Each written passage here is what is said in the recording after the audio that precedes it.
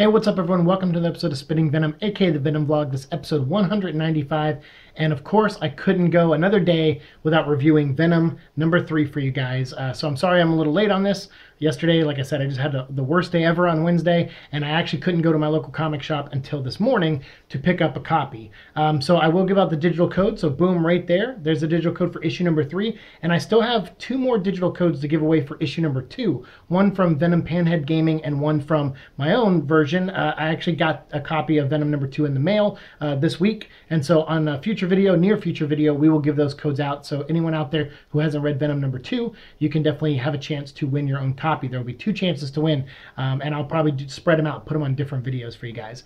Um, so Venom number three. So I will say I did enjoy this issue more than number two overall. I thought the artwork still is stellar. Ryan Stegman is crushing this book visually, and his art team, his colorists, everyone who's working on it, the inkers, like they're all the team itself working on the art is what's selling this book to me every month. Now that and the name Venom. Uh, so no matter what, I'm going to buy a book probably with the word Venom on it, but I am still going to be critical and and share my opinions on things. And if I don't like something, I'm going to say I don't like it. And just because it's Venom doesn't give it a pass. And that goes for movie stuff and for comic book stuff. Um, but I was very excited for Donny Cates on this book because of his Thanos run, and then also I was liking what he was doing with Damnation with Doctor Strange. He actually got me to pick up a Doctor Strange book for the first time in like maybe 20 or 25 years. I haven't read Doctor Strange since the 90s run, and that run I really did like a lot. Uh, but since then, I haven't really bought any book that said Doctor Strange on it. Maybe outside the Straczynski miniseries that he did, um, like 10 or 15 years back. Uh, but so I was excited. I was like, all right, Donny Cates, you know, in interviews, he kind of worried me a little bit.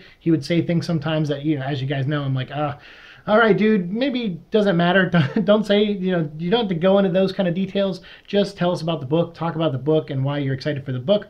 Um, but uh, he wrote a little bit of a better issue in this one. I really like the, um, you know, or I guess I should say where this book starts. It starts off with Miles Morales and uh, Venom fighting. And so Venom, Eddie Brock is inside the symbiote somewhere, kind of mentally shoved back in the back of its mind and he's like curled up in a ball on a web and he's freaking out and he's like you know like what happened? How did i get here? And he goes oh wait a minute spider-man. He goes i'm killing spider-man. And you see his eyes and there's like that red swirl from the creature you know that took over the symbiote in the first issue. And so he's seeing through the the symbiote's eyes now and he's seeing that miles morales is almost dead and so eddie fights back and he then he comes through and he says kid kill me kill me so then the miles morales does his venom blast shoots eddie brock in the mouth separates the suit temporarily and gives Eddie Brock control back. And then he starts wailing on Eddie Brock. And Eddie Brock's like, whoa, kid, what's going on? What's going on? And he's like, you know, you hurt my mother. Like, you know, a symbiote like you put my dad in the hospital and then also, you know, killed my mother, uh, you know, but she's back. But, you know, he's like trying to explain that whole thing. And Eddie's like, look, man, that wasn't me. I don't know what's going on. And, but if you still hate me and everything, you, we can deal with that afterwards. We have a bigger threat to deal with. And I'm glad Venom pointed that out. you know, I know Miles, when he saw the symbiote, he probably like went red and was like, all right, I'm going to kill this thing before it hurts anyone else. Or maybe it's an agent of that big creature and I'll let the Avengers take care of that and I'll fight this one. So there's at least a little some, you know, there's some rationale as to why maybe Miles would go right to Venom and ignore the big dragon. And then, uh, you know, but then it is nice to see them go, no, there's, there's a bigger threat here. Like Eddie's like, I'm not the threat. I'm not trying to hurt anyone. Uh, I understand I'm, you know, not in control of myself, but I'm not the bad guy here. That thing is. So if you can do that Venom Blast thing to that, that'll be great. And so Venom comes up with a plan to grab Miles and throw him right at the creature and have the creature eat Miles. And then Miles does a Venom Blast from inside the creature and completely, what we think annihilates, uh, you know, the symbiote or this big dragon thing. We think it's annihilated, but really what it does is it pours down like a symbiote, and then coming out of it is a is like this big gothy vampire uh, looking guy who's uh, holding Miles Morales by the head, and he's like, "Hey, creature, is this yours?" And he throws uh, you know Miles is down, you know Miles' body down on the ground. Who he's still alive. Uh, Eddie's checking on him, and he finds out he's still alive, uh, but Miles got his butt kicked. Uh, even though he did the venom blast, it took a lot out of him. So he didn't have a, uh, you know, he couldn't put up a fight. And this, you know, vampire looking guy kind of tossed him aside and then starts talking to Eddie. But you think he's talking to Eddie, he's actually talking to the suit. And once again, everything's going along smoothly, everything's going well. And then there's one little line. Again, I don't want to fixate on things like this too much because it looks like it's going to happen every time in Donny Cates' run. It just looks like there's going to be things that he is not going to pay attention to continuity wise. And if that's the case, that's fine. Now I, it's clear to me that that's going to happen. So I will try to be less nitpicky on lines like this. But I will at least mention it to you guys so you know why I'm being a little nitpicky, which is uh, there's a line where he says uh, to the symbiote, you know, he, he calls it over. He's like, why is your, you know, suit or why is your host screaming at me? He's like, I want you, child, come to me. So the suit comes to, you know, this creature who we find out his name is Knull, K N U L L, Knull.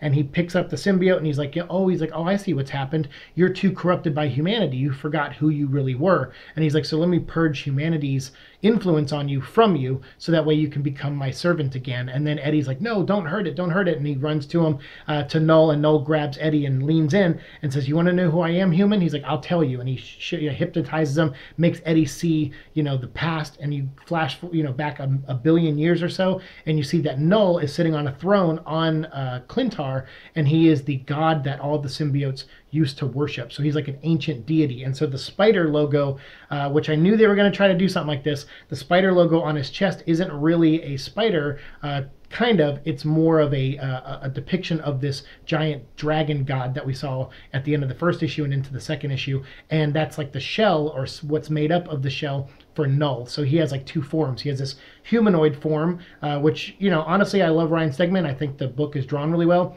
but from a design standpoint, this guy looks very generic. Uh, he looks very much like a Vlad Tempest, you know, like dr- early Dracula concept design.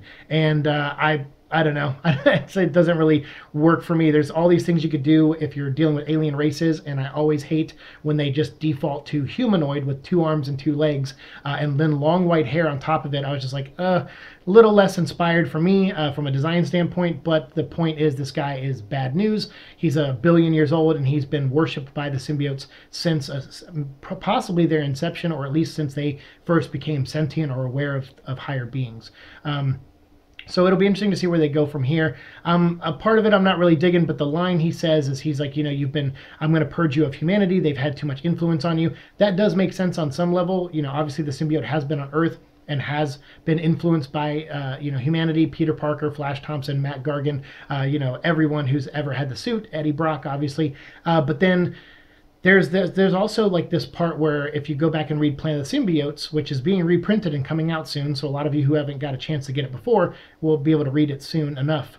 Um, in there, there is a line or two about the symbiote being different, that the specific suit was different and it was outcast to the battle world, uh, and that's where it was left to be jailed or used at Beyonder's disposal or whoever wants to use it use it at their disposal for for the purposes on Battle World. So it was like outcast there and put there away from the Klyntars. It was shut out because it was different uh, than the other ones. So to me, I feel like if no, if if Donny Cates knew that or wanted to factor that continuity in, then when Knull picked up the symbiote, he would notice the influence of humanity, but he would notice something else there too.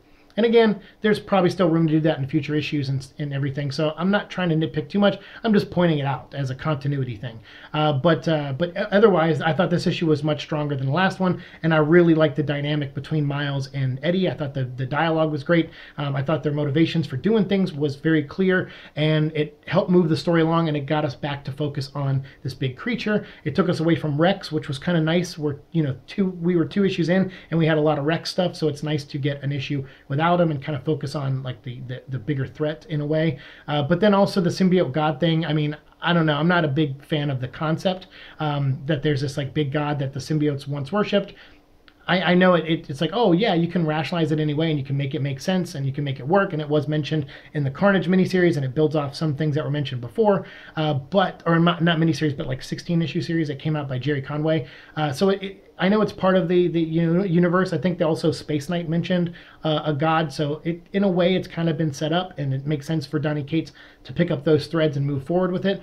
Um, but there's still a part of me that's kind of like uh, it just it feels very generic. Like it feels very typical uh, direction to go in uh, with the story. And I, I thought we were kind of going to get something new here. And that's kind of what Donny Cates promoted as I want to do something with Venom that you've never seen before. And granted, we haven't seen this with Venom before, but I feel like we've seen a lot of this. If you read enough science fiction and fiction in general and horror stuff, you've seen a ton of stories like this before. Uh, so so that maybe is why I'm, I'm railing against it a little bit. But overall, I thought this issue was much better. And I thought Donny Cates is, you know, he's got a good hold on Eddie personally, minus continuity stuff aside, he does have a pretty good hold on Eddie, I think, and uh, I like the stuff he did with Miles, and I'm interested to see where it goes from here. So if you guys have any different opinions or the same opinions, whatever you want, let me know down in the comments below. Do you have a favorite moment in this issue? Uh, did you like something other than the art? Do you like the story? Are really digging on it so far? Um, like I said, this pulled me back in. I was starting to pull out. This pulled me back in a little bit, but I am still a little like this doesn't really this is what the guy looks like. And he's got the sim the you know the symbol of the spider but it's red but it has a little tail coming down.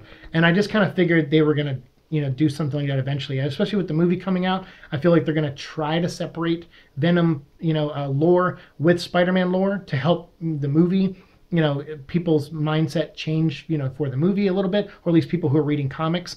Um, but uh, but i feel like it's a little unnecessary to go that route. Uh, but again it's not the end of the story yet and i'm interested to see where it goes from here so they must be doing something right. So again let me know what you think down below and as always like share subscribe all that fun stuff and i'll see y'all in the future. Peace